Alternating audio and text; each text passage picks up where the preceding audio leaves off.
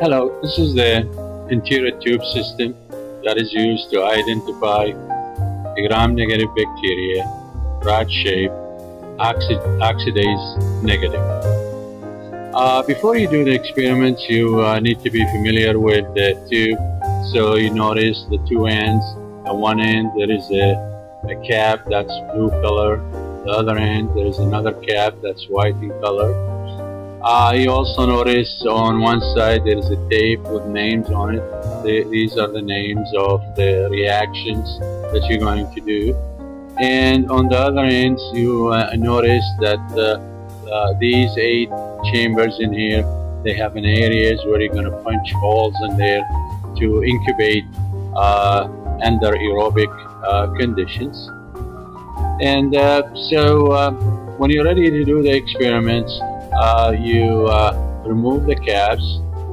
The blue cap is looped, the wire is looped. That's the, the part that you touch with your hand.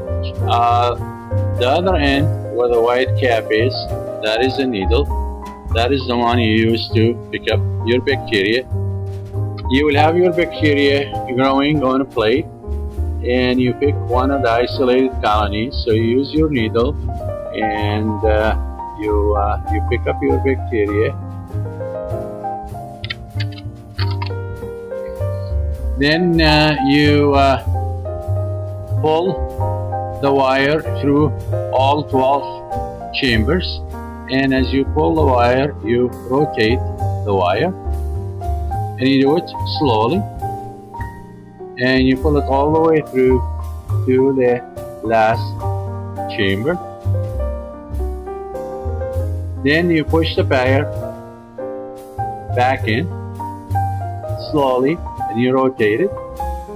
And then when you get to the area where you notice there's a notch on the on the wire, you break off the wire at that point.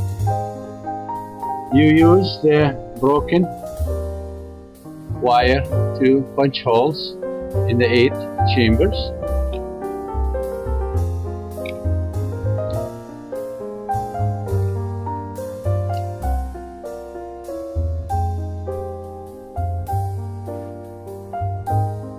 you put the loop in the disposable area. You cover the two ends with with the caps. You label your tubes and you incubate it flat in the incubator for 18 hours or overnight. After incubation you will notice changes in the color of the chambers. This is the original tube that we use. These are the colors.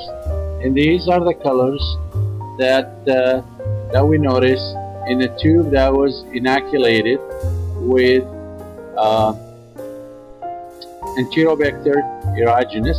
So the top, uh, the top tube has different colors because it was inoculated with the bacteria and the bottom tube were the original colors you will use the paper that lists all the reactions. You will circle the number for the positive reactions. Then you will come up with a code that consists of five numbers. You will use that code to identify the bacteria